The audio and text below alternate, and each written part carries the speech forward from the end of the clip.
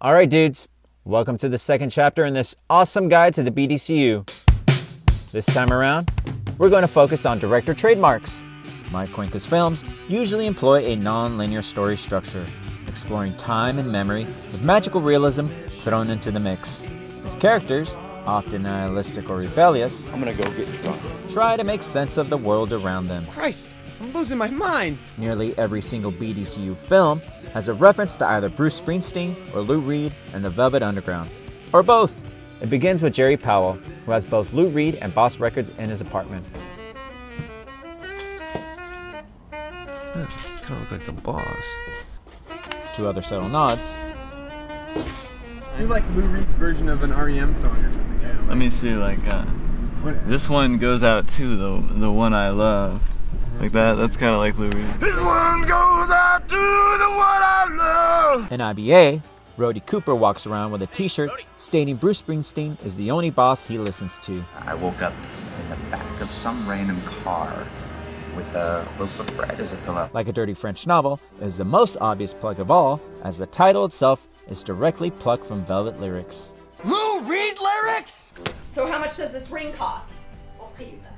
And in Odium for Ardor, the character reads Please Kill Me, a book that not only covers the 70s punk scene in New York, but the origins of the Velvet Underground. An author, Alan Howell, is a fan. I'll be your mirror. The Velvet Underground, 1966. Then there's mirrors. Mike Cuenca sure loves his mirrors. Hey Fritz, is it me or is it hot in here today? It's 28 degrees Fahrenheit, you moron!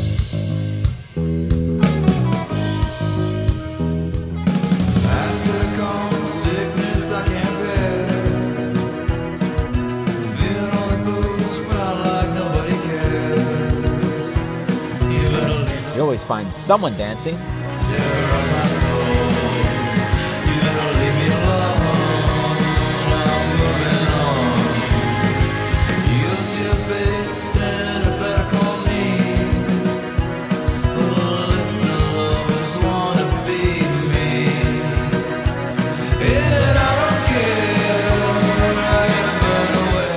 Friends who are always bickering. Always stupid. That's what you are, man. He's got a point there. Oh, would you shut the fuck up?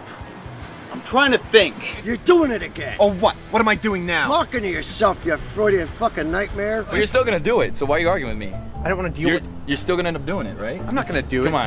on. Come on. just- come on. What? Come go to on. an apartment? Go to an come apartment? on. They got any toppings?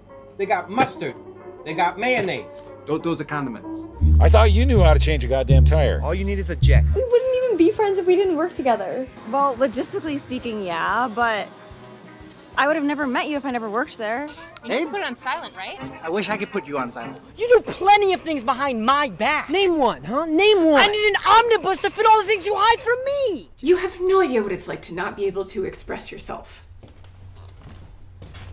Expressing yourself now. And there's drug use, sometimes accompanied by a trip out scene. In Jerry Powell, Jerry loves to huff gas, a result of childhood trauma. And by the wayside, the characters eat mushrooms. And I'll be around, Rory swaps plain old fundraising cookies with ones containing weed. And the ditch has more mushrooms. And Boys About Town has acid trips, coke binges, and even speed. Let's not forget Table Talk, aka characters sitting around a table chatting. Tell me about this Simon. Is he like an artist or something? I was told that that was your favorite show, the Rah Rah Show. Oh, I haven't seen it in ages. I had to watch every episode of the Rah Rah Show so I could talk to you about the Rah Rah Show. No, you did not. How many did you watch?